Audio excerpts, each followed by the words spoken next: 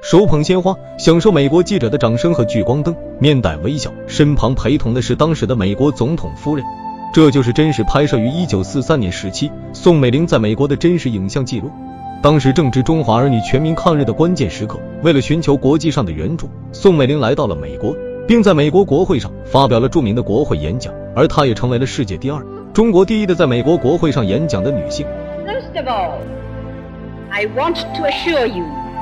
That the American people have every right to be proud of their fighting men in so many parts of the world.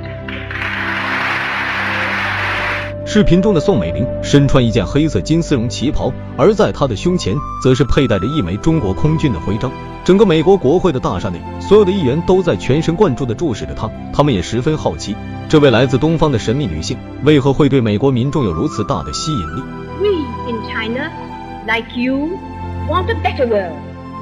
not for ourselves alone, but for all mankind. And we must have it. It now remains for you, the present representatives of the American people,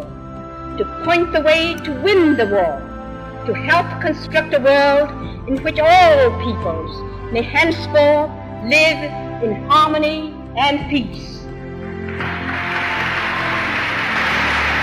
而宋美龄那一口纯正的英文发音，加上每一句话语都充满情感和深意，她的演讲受到了在场的每一位美国人的认可。美国民众也通过此次宋美龄的讲话，知道了那时期我国正在经历的磨难。而除去美国国会大厦里的议员们，很多的普通美国民众和在美国生活的华裔美国人，开始将自己的目光转向了那片远在东方却又战火纷飞的土地上。而根据一份当年的美国资料记载，在一九四三年时期，有超过二十五万人亲耳听过宋美龄的声音，这也让宋美龄的此次美国之行收到了大量的援华物资，宋美龄也成为了美国民众眼中的明星。而美国政府更是因为宋美龄的影响，直接将原本实行了六十余年的排华法案给废除，这极大的提高了当时在美华人的地位，同时也为这些在美华人谋取了更多的利益。而回看历史，宋美龄的此次访美之行是影响深远且有实际意义的。而他在美国国会的这次演讲，不仅是历史上的一个重要时刻，更是在中华儿女最为艰难的时刻，展现出一位东方女性、